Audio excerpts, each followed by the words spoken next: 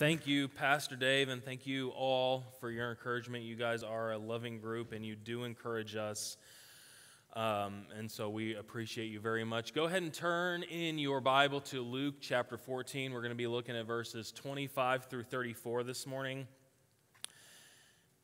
And I do want you all to be in an attitude of prayer for me and for each other because we need to deal with some heavy stuff this morning. And this is what God has laid on my heart. Whenever, whenever Pastor has me preach, he is uh, very much a, a, a spirit led man. And so he doesn't ever say, I want you to preach about this. He says, whatever God has laid on your heart is what I want you to preach about. And, and what I want, what I believe God wants to tell us all this morning, myself included, is what it takes to be a true disciple of Christ.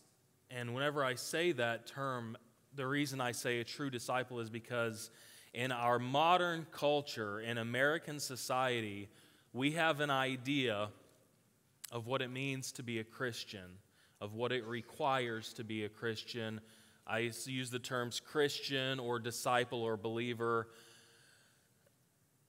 And the, the idea that we have in America is in large, okay? I can't say it absolutely because I know there are faithful men and women in this very room, but as a whole, our idea of what a disciple is, what a disciple does, what a disciple looks like, what it requires to be a disciple is a shamefully far cry from what Christ Himself laid down in Scripture.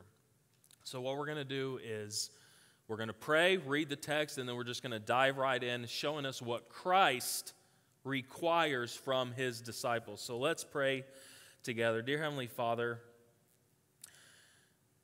God, I just pray this morning that you would speak through me, that I would give no opinion of my own, Father, but Lord, that I would be true to the text.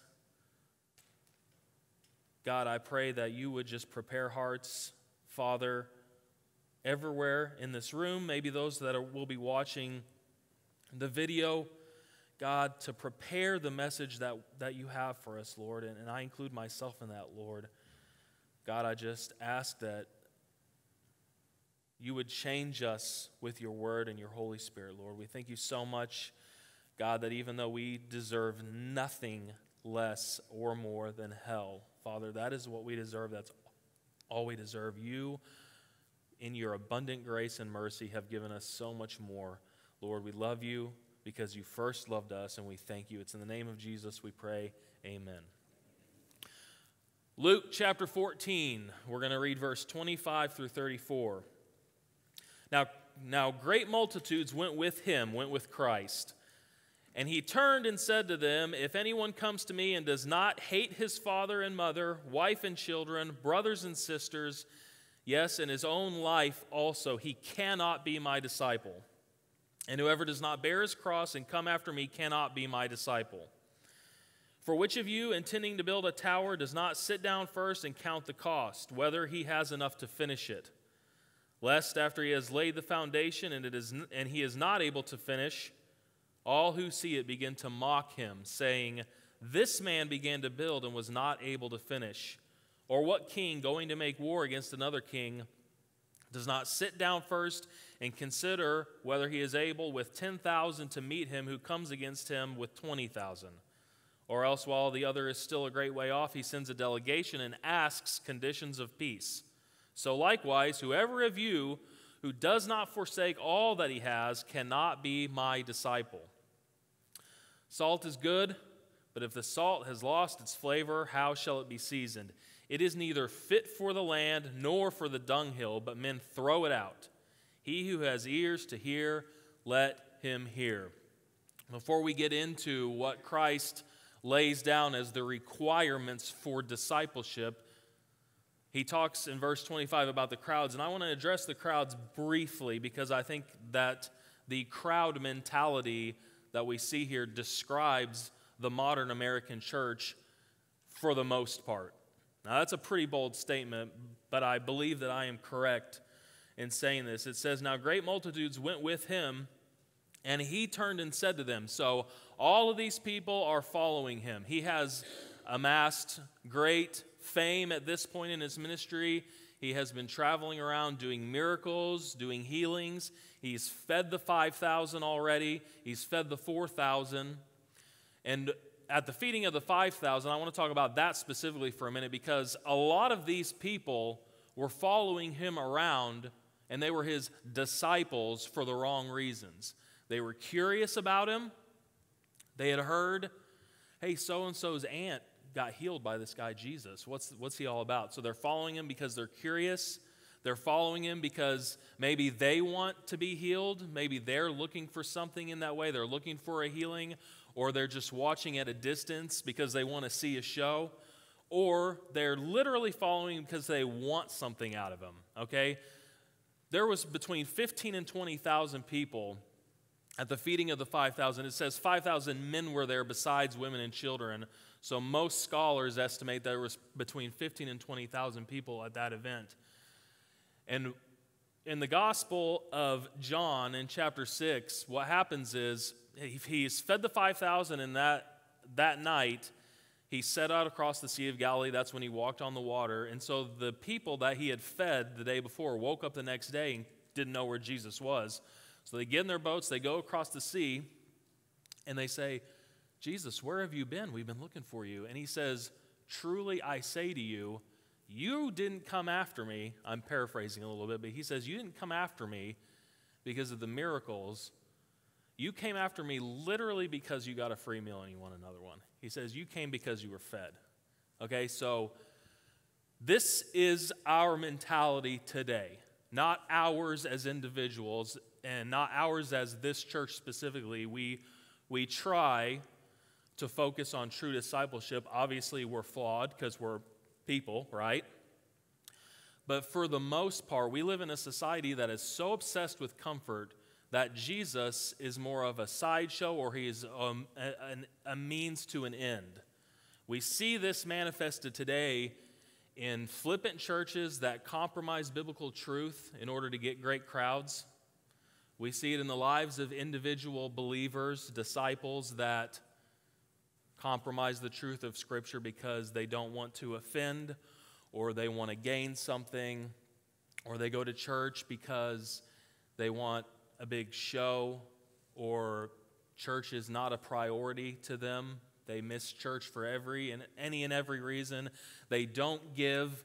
And listen, I, I want to be clear about something. I'm not saying that if you've ever missed church, even if it was for a lousy reason, or that you ever skipped tithing, that you're not truly a believer. I'm not saying that at all, but it is the life, it's a life that's marked by these things, where missing church, missing fellowship with other believers, helping out other believers, sacrificing time and resources for the ministry, if that is a lifestyle pattern, that is a comfortable, casual Christian, and that is not what Christ requires of us.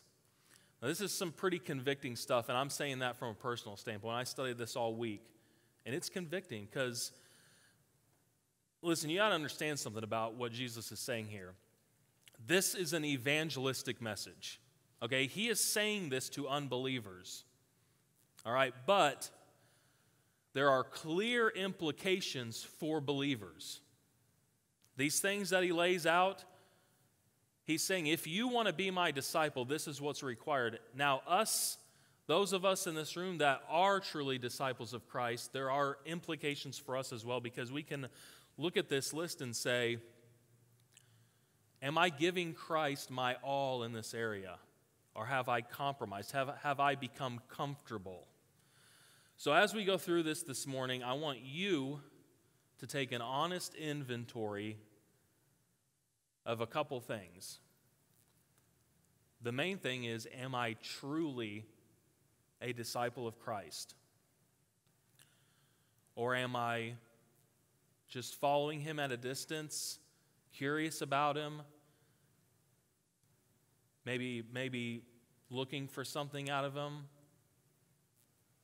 And if you are truly a disciple of Christ, I don't, I, I don't my intention is not to, to make anyone doubt themselves if they're truly a believer, okay? But if you are a true believer, ask yourself, am I living up to this? Is my Lord worth what he asks of me? What does it take to be a disciple of Christ? Number one, you must hate your family. Now, how many think that sounds pretty extreme? Yes, it is. Christ requires extreme devotion. But listen, we have to understand that the word hate, and I'm sure that some of you know this, maybe a lot of you know this, but hate in this passage is not hate like we think about hate. Whenever we hear the word hate in our modern vernacular, it's someone who's an enemy, someone we wish harm upon, that we pit ourselves against, right? That is not what the word means. It is hate by comparison, okay? The same word is used in the book of Malachi whenever God is speaking through the prophet and he says, Jacob I have loved, and Esau I have hated. Did God hate Esau? No. But he chose Jacob as the child of promise, right? He chose him. So by comparison, Esau was it was more like hate. Okay? This, it's the same in Genesis chapter 29. It's the same idea. Um, God is talking about, hey, he looks down upon Leah, right? Jacob's wives, Rachel and Leah. And it says that God looked down upon Leah and saw that she was hated. It does not mean that Jacob literally hated her, okay? But his eyes were for Rachel. Rachel was so far up the list of priorities that Leah, by comparison, it was like he hated her. So it says in verse 26 If anyone comes to me and does not hate his father and mother, wife and children, brothers and sisters, Yes, even his own life, he is not, he cannot be my disciple. Obviously, you can't hate your father and mother without violating the fourth commandment, can you? And God never contradicts himself.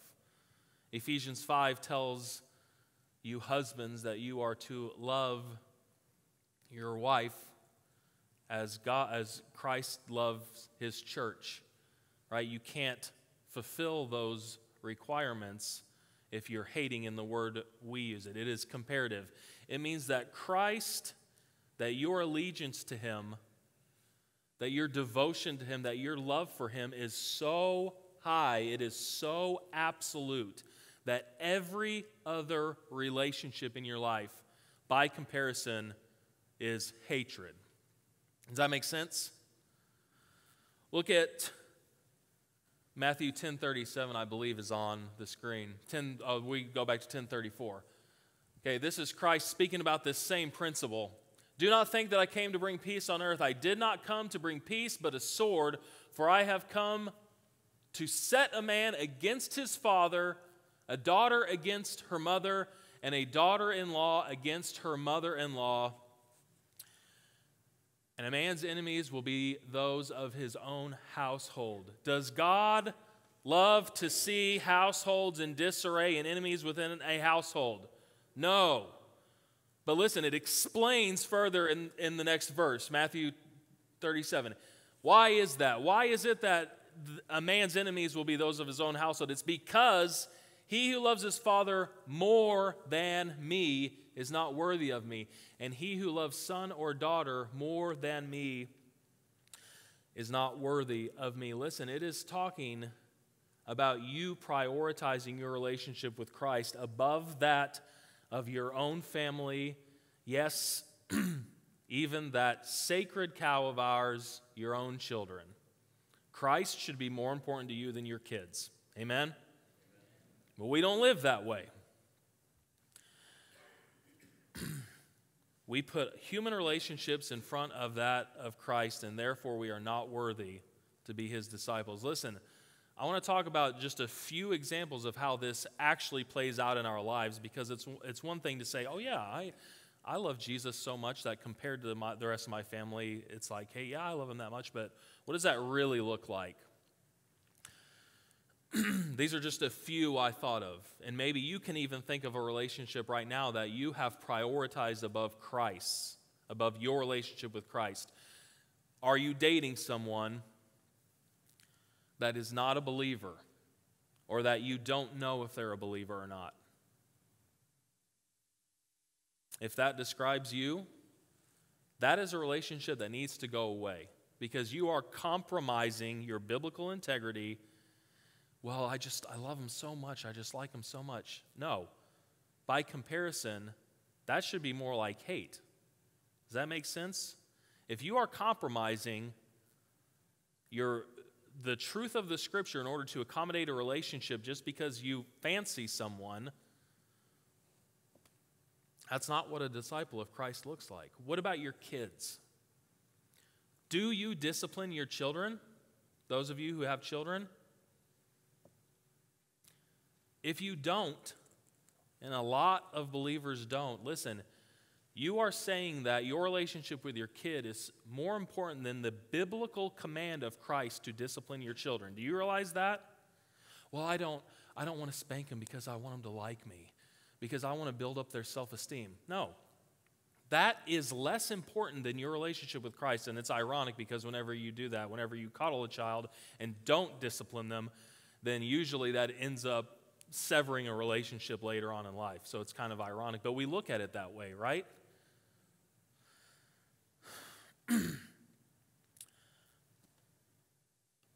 what about your parents? You know, we. Uh, knew a missionary family whenever we were in Springfield, and they were about to go to, to Wales.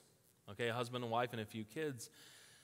And this wife, they were about to leave to go to Wales, and her parents, her mother specifically, was very adverse to it. She tried to guilt trip her, tried to talk her out of it.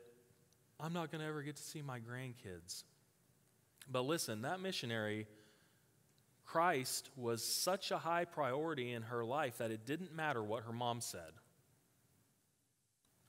Because by comparison, her relationship with her mother would be closer to hate. It wasn't because she loved her mother less, okay? We still love our kids, we still love our spouses, our parents, and all that, but it's, it's not loving them less to accommodate Christ, it's putting Christ up so much higher. Her dedication, her devotion was absolute to Christ. Mom, I'm doing this, and it doesn't matter if I never see you again. Obviously, she didn't want that, but if that was the cost, then it was worth it. You must hate your family by comparison. The same principle goes for yourself. How many of you have ever said or believed, I would die for Jesus? I would die for him. We say that, okay, and I, I believe it. Those of you that, that say that, yeah, I would die for Jesus if I had to. But it's easy, it's a little bit easier for us to say it because we live in a country where that's probably never going to happen, right? I mean, let's just be honest. I'm not doubting your sincerity, but it's easy to, to claim that. But listen, it's so much more than that. It's so much more than just theoretically being willing to die for Christ. It's living for Him day to day, denying yourself day by day. You know what?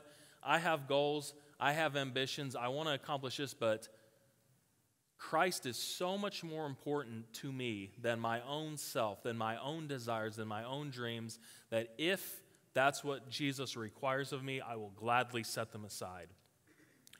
We must hate our family we must hate our own selves by comparison, right? In the light of Christ, are we denying ourselves? Are we denying our relationships in that way? Are we subjecting them to Christ? Another way to look at it is have you ever suffered rejection by someone, or maybe you had a friend that said, You are too much for me? I, I, I can't deal with this anymore, or something like that. Have you ever sacrificed a relationship on any level for Christ? Number one, in order to be a disciple of Christ, you must hate your family. He says you cannot be my disciple. Number two, carry your cross. What does that mean? Verse 27 And whoever does not bear his cross and come after me cannot be my disciple. Well, what did the cross of Christ mean? What did it entail? What did Christ suffer on the cross for us? Physical pain, right? That's the first thing I think of. He suffered physical pain. We have a missionary, uh, Jerry Daniels, there in Kenya. He broke his leg this week. He is literally suffering for Christ right now, and his wife is too.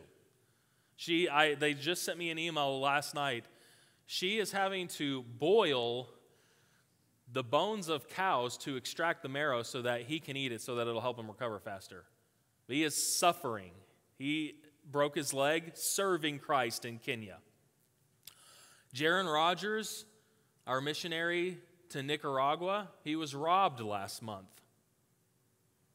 He is literally suffering for Christ, and he's also broken his leg. Wasn't it his leg he broke? That was more out of him being a little bit reckless, but still, he is in Nicaragua and he and his family are suffering for Christ right now. Old Connerup, another missionary of ours, had a heart attack last year. He is on the field. These people are out literally suffering for Christ. But it's not just that. And in America, we don't really usually have to suffer much physical pain. We do sometimes, but listen, it's the cross is so much more than that. Bearing your cross and what Christ bore on the cross is so much more than just the physical pain. Think about the humiliation that he went through. Have you ever thought about that? Christ is on trial. They are shouting, Crucify him. He's humiliated by his guards. They mocked him, put a robe on him, put a crown of thorns on him. Yes, it was painful, but it's also humiliation. He drug his cross through the city while people spat on him and mocked him. And then he hung on the cross. For a lot of us, just being on display is humiliating enough, right? Public speaking and being in front of people is the number one fear in the world. So just being on display sounds awful enough, but think about being on display, hanging on a cross, not even besides the physical pain, people mocking you and hurling insults at you. Christ had thieves on either side that were also mocking him. It was humiliating. He was rejected, his disciples scattered, right? The crowds that were following him, that welcomed him into Jerusalem, had almost entirely rejected him. Almost everybody in the city had turned against him in just a week. Absolute rejection. So, what about us? If we are disciples of Christ, we must bear a cross. Have you ever suffered for Christ? And I mean, really suffered. John MacArthur told a story about a woman. I just heard this in a message, and it came, I was reminded of it this morning. But he had a woman that came to him, and she said, I, I feel like I'm really suffering for Christ. Can I meet with you? And he said, Yeah, of course. What's going on? And so she met with him, and she said, I'm getting the carpet in my house redone and I just cannot figure out what drapes I want to get to match it. I just I feel like I'm under attack and I'm really suffering for the gospel. It's okay to laugh because that's stupid. Well, listen, have you ever really suffered? I started out by telling you that I, I wanted you to do an honest inventory of yourself. Christ tells us that if we are going to be his disciples, we we are going to suffer. If you have never suffered for Christ in any sense of the word, I cannot sit up here and say you're definitely not a believer, you're definitely not a disciple, but it should be a red flag. We have this comfortable notion of discipleship in our country where it's, well, I said a prayer when I was 12, and then I go to church every Sunday. I give an hour of my week, and usually half of that hour is dedicated to thinking about Golden Corral afterwards. That's what we think of as discipleship today. Look at Matthew 10:38, I believe is up here. This is Christ. He reiterated this point frequently. He who does not take his cross and follow after me is not worthy of me. If you are not willing to suffer for Christ, you're not worthy of him. Maybe you've heard this saying before, but I can't remember who I heard it from, but it, the saying is, we all want a crown without a cross. Well, it doesn't work that way. Because if you're not willing to bear the cross, you are not worthy of the crown. And listen, this is not a one time thing, this is a daily sacrifice, okay? We must be willing to suffer continually if that's what's necessary. Look at Luke 9 23. Jesus said to them all, If anyone desires to come after me, let him deny himself and take up his cross once, and take up his cross on Sunday and take up his cross once in a while. No. How often do we need to take up our cross and deny ourselves? Daily. This culture is, is so opposed to this. It's not about self denial, it's about what's in it for me, what can I get, what am it's all about me. It's not about suffering. Our culture that we live in is so opposed to this. Amen? But if we are going to be true disciples of Christ, we must deny ourselves. We must take up our cross daily. We must be willing to suffer for Him. Have you ever suffered for Christ? If you knew that it would require you to suffer every single day for the rest of your life, would you be willing would Christ be worth it to you? Number three, forsake worldly comfort. And I think that this is the biggest hang up we have. We must be willing to forsake worldly comfort if we are going to be a disciple of Christ, a true disciple. Verse 28 For which of you, intending to build a tower, does not sit down first and count the cost, whether he has enough to finish it. Lest after he has laid the foundation and is not able to finish, all who see begin to mock him, saying, This man began to build and was not able to finish. Or what king going to make war against another king does not sit down first and consider whether he is able with 10,000 to meet him who comes against him with 20,000? Or else, while the other is still a great way off, he sends a delegation and asks conditions of peace. Verse 33. So likewise, whoever of you does not forsake all that he has cannot be my disciple. Listen, Christ wants you to count the cost and know that he is worthy of it, whatever that may be, even if that's everything. This is 10 verses, and five of those he dedicates to counting the cost. You know, I grew up in the generation of altar calls, and uh, there's nothing wrong with altar calls, right? You call upon Christ. I believe that's biblical. But listen, the problem with that is a lot of times, not always, a lot of times, it is very hard for us to sincerely count the cost of following Christ. And that's why so many of the people, at least in my circle that were saved that way walked away from the faith because we don't count the cost.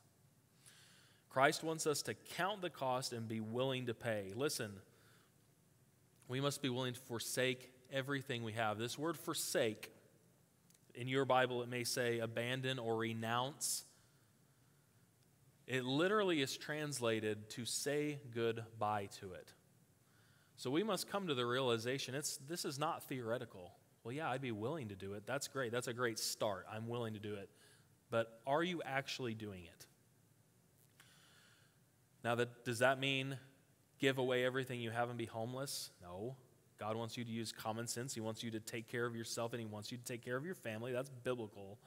But listen, are you sincerely sacrificing? And it's primarily focused on material things, okay? But it's not just that, it's, it's primarily talking about that. Are you willing to give up what you have to follow Christ? Look at the uh, turn a couple pages to Luke 18. We're going to look at the rich young ruler. We talked about this in Sunday school last week. This is an example of a man counting the cost and saying, I'll pass. Luke 18, verses 18, starting in verse 18. Now, a certain ruler, meaning he was a temple ruler, he was a big shot at the temple, asked Jesus, saying, Good teacher, what shall I do to inherit eternal life? Jesus said to him, Why do you call me good? No one is good but the one, that is God. You know the commandments do not commit adultery, do not murder, do not steal, do not bear false witness, honor your father and mother. And he, the rich young ruler, says to Jesus, All these things I have kept from my youth. Now, that in and of itself is doubtful, but let's just assume, for the sake of argument, that he, in fact, kept all of those perfectly since he was a youth. So when Jesus heard these things, he said to him, You still lack one thing. Sell all that you have and distribute to the poor, and you will have treasure in heaven, and come follow me. Verse 23 But when he heard this, he became very sorrowful, for he was very rich. Now, this man asks Jesus, this young man asks him, What do I have to do to inherit eternal life? And Jesus does not tell him about salvation by grace through faith alone in Christ. Instead, he says you got to sell everything. Why did he do that? Because this, this, this really happened. It's, it illustrates a point to us, but this is a true story. But he's illustrating that this young man was not willing to pay the price of discipleship, the price being sell or be willing to say goodbye to everything you have of this world. we have a missionary that we support in this church. His name's Stan Sherwood. And if you have ever watched his, his deputation video, he says that he had a new house, new truck, a great job that was comfortable and that paid really, really well. He was set up. Christ called him to the country of Panama. This is a man who had to count the cost. Is this worth it? Is it worth it for me to give up this salary, to give up my retirement, to give up my house, to go to a third world country and preach the gospel? And the answer for him was yes. That's one example of discipleship. He counted the cost and he knew that Christ was worthy. Look at Philippians chapter 3, verse 7 and 8. This is Paul. Now, Paul was kind of a big deal, okay? He had the education, he had the intelligence, he had the money, he had everything. He was, he was trained under Gamaliel, which was like, like going to Harvard today. He was, he was the man to study under. And so he is thinking and talking about all the things that he gave up for Christ. But whatever things were gained to me, his education, his money, his wealth, his status, he had great status. Those things I have counted as loss for the sake of Christ. More than that, I count all things to be loss in view of the surpassing value of knowing Christ Jesus, my Lord. Listen, this is the same principle as hating your family, it is, it is comparative. Paul had all these things. Not necessarily bad things. Money, having money is not a bad thing. Having a good reputation and status and stuff, that's, that's a good thing. It's not a bad thing. Having a good education and all that is, is not a, those aren't bad things. Okay? But listen, he's saying that Christ is so much more valuable to him that he doesn't say that I'm indifferent about him. Well, I love Jesus so much that all that stuff is, you know, I, I could care less about it. No, it's Jesus is so much more that it's actually counted as loss to him. For who I have suffered the loss of all things, and I count them but rubbish, so that I may gain Christ. Listen, Paul was a man who was dedicated to the gospel. Amen? He lived out these principles that Christ is telling us that he requires complete abandonment of worldly comfort for the sake of Christ, for the sake of the gospel. Following Christ is not casual, it is not part time, it's not this quasi, yeah, I'm going to have a little bit of Jesus here, a little bit of Jesus there. It is complete and absolute dedication in all areas of life. That is what Christ requires for discipleship. I want you to listen to what happened to several of the church fathers, okay? These are men who understood the cost of following Christ and who embraced it, knowing that he is in fact worthy. James, the son of Zebedee, this is the only account that's actually in Scripture of what happened to, to one of the apostles. He was, it says he was put to death by the sword by Herod. Now, that means that he was either stabbed to death, but more likely he actually had his head chopped off. Now, although the rest of these that I'm going to tell you about are not in Scripture, they are verifiable, historic, they're part of church history. Matthew was wounded with a sword in Ethiopia as he was preaching the gospel, and he died of a sword wound. John was boiled in oil Think about just that. He survived that. And so then he was cast out to a prison island called Patmos. It was a mining camp, basically. Okay? So this old man who had just been boiled in oil had to go be an outcast on a prison island. And then he got released from there eventually and died of natural causes after that. James, Jesus' brother, not an apostle, but certainly a leader in the early church, was thrown off the top of the temple. Now, he didn't die. These, the people threw him off the top of the temple and saw that he landed on the ground and survived, so they ran downstairs and beat him to death with clubs. Bartholomew, he had his skin flayed open by seven soldiers whipping him.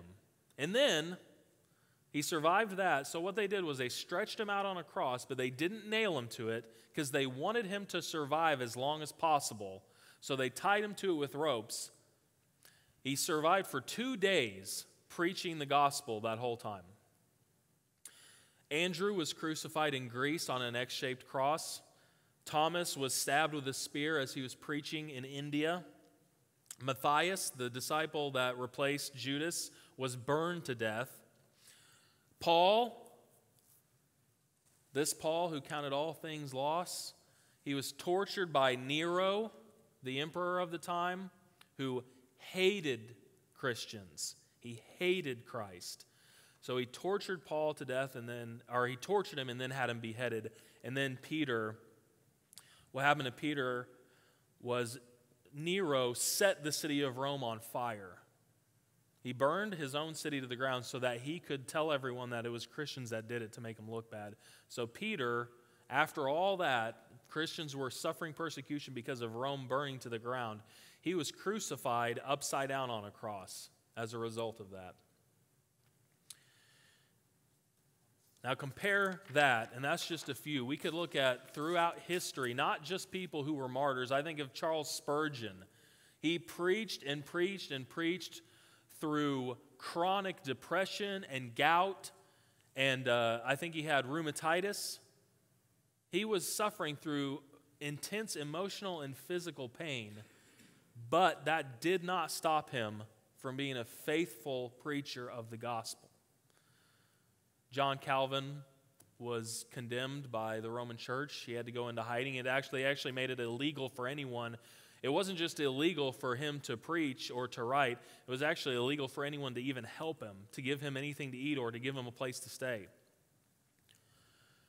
And of course, that that doesn't even touch the tip of the iceberg going throughout church history. The people who have not just been martyrs, okay, that's what we think about, but who have suffered for the sake of Christ and who have been willing to count the cost and say, you know what?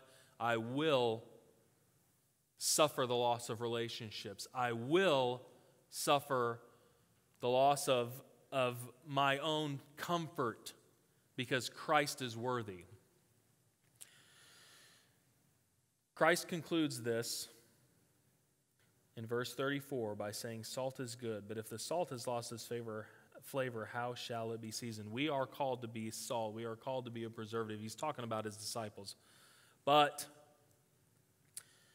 if it loses its flavor, it's not good for anything. And so it's thrown out.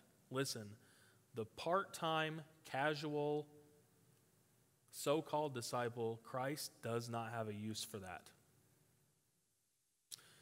Now that sounds pretty depressing, but I want also I want to go back to the story of the rich young ruler right after this. I know we're running a little bit over, but I don't care. After the story of the rich young ruler and he walks away, Peter says to Christ, "See, we have left all and followed you."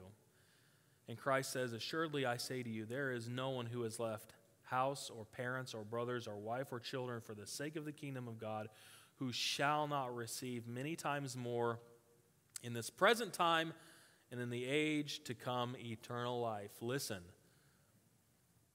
we don't follow Christ for rewards, we follow him because he's worthy. But Christ, because he pours grace upon grace upon grace on us, promises that there is a reward. So I want to conclude really quick with two questions. I know that your notes were sparse today, but I left plenty of space for you to ask this first question What am I withholding? What am I withholding from Christ? Is it that relationship that I know is not honoring to Christ? Is it that material thing? Is it that attitude? Is it my pride? Listen, is it my so called freedom? We live in a culture that is obsessed with entitlement and with our own rights. Listen, if you are a disciple of Christ, you have no rights. Have you ever thought about that? Why? You have no rights. You, ha- you should have no sense of entitlement because everything about you is in Christ. So you have no right to complain about you not getting yours. What am I withholding? Is it that attitude of entitlement that needs to be laid at the foot of the cross? What is it in your life? Why do you not evangelize? Is it because you're worried about your reputation? Is it because you're afraid of rejection?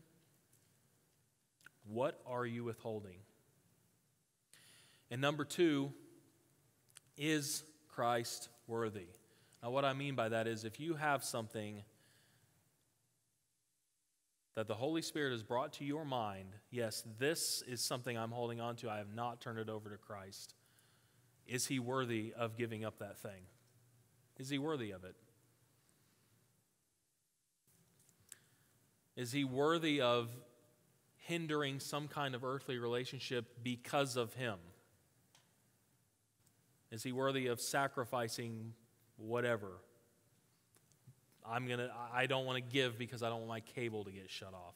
I know that's a pretty feeble example, but you get the idea. Is Jesus Christ worthy of giving up that thing, he says that if you are unwilling, then you cannot be his disciple. Is he more worthy than that thing you're clinging to? We're going to pray and then we are going to sing All to Jesus I surrender. All to Jesus I surrender. I hope that's your prayer this morning. Let's pray. Dear Heavenly Father, God, even though we don't like conviction generally, I am thankful for the conviction this, ring, this brings, that it's brought upon me. Father, because we know that conviction is a good thing because it leads to more Christ likeness. And God, I pray that we would not try to not try to change the things in our life that we need to change because of some legalistic sense of the word God, but because we recognize that you are worthy. Christ, you died for us. You gave up everything for us. We did not deserve it. And so, Lord, I pray that we would remember that. Bring that to our minds. Help us to always be dwelling on it so that we know, Father, we don't, we don't follow rules just for the sake of following rules because you told us to, but it's because we love you, because you loved us so much. Lord Jesus, I pray, God, that you would just convict us where conviction is needed, Lord and that, uh, that you would, through your Holy Spirit, through your word, would just change hearts this morning. Lord, we love you. We thank you so much for our salvation. And God, I pray if anybody here this morning does not know you as Savior, that you would draw them to you, that they would count the cost and look at the sacrifice you made, your death, burial, and resurrection on the cross, and they would say, Yes, Lord, you are worthy. Yes, Lord, you are worthy for me to sacrifice everything, even my own life, if that's what's required. God, that we would recognize your true value. It's in the name of Jesus we pray. Amen.